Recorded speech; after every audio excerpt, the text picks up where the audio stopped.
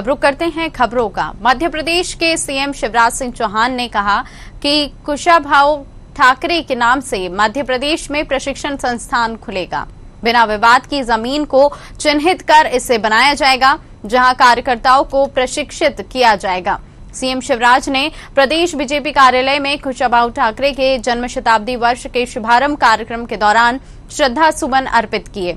इस दौरान बीजेपी प्रदेश अध्यक्ष वीडी शर्मा, केंद्रीय मंत्री नरेंद्र सिंह तोमर समेत पार्टी के अनेक बड़े नेता और कार्यकर्ता मौजूद रहे। कार्यक्रम में कुशाभाऊ ठाकरे की जन शताब्दी वर्ष पर उनसे जुड़े जीवन की प्रदर्शनी लगाई गई, जिसमें स्वर्गीय ठाकरे की जीवन के बारे में बताया गया। साथ ही बीजेपी में स्वर्गीय ठाकरे के योगदान को भी प्रदर्शनी के माध्यम से बताया गया। वहीं बीजेपी प्रदेश अध्यक्ष वी शर्मा ने कहा कि खुशाभाऊ ठाकरे जन्म शताब्दी वर्ष साल भर बनाया जाएगा, जिसका एकमात्र उद्देश्य संगठन को मज़बूत करना है। साथ ही युवाओं को जोड़ने के लिए यूथ फॉर नेशन और पॉलिटिक्स फॉर द नेशन अभियान शुरू किया जाएगा, जिसमें करीब एक करोड़ युवाओं को जोड़ने का लक्ष्य रखा गया है।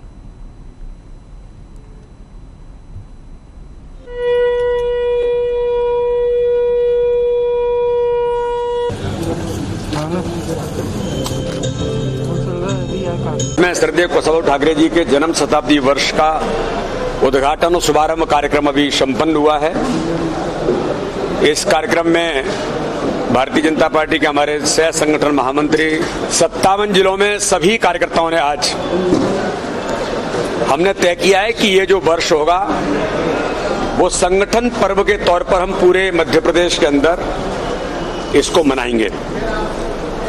जन्म शताब्दी वर्ष का जो ध्येय वाक्य है कि संगठन गढ़े चलो, साथ में ही जो हमारा उद्देश्य है, भाजपा के कार्य का विस्तार और संगठन सुदृढ़ीकरण, इस उद्देश्य को लेकर के वर्ष भर भारतीय जनता पार्टी के कार्यकर्ता प्रत्येक बूथ लेवल तक अपने काम के विस्तार और काम के सुदृढ़ीकरण के साथ सर्वस्पर्शी और सर्वव्यापी हमारा जो कंसेप्ट में उस पर हम पूरे मध्य प्रदेश के अंदर भारतीय जनता पार्टी का ये काम सरदेव कुशावल ठाकरे जी के जन्म शताब्दी वर्ष को इस रूप में हम मनाएँगे। को बधाई देता हूँ।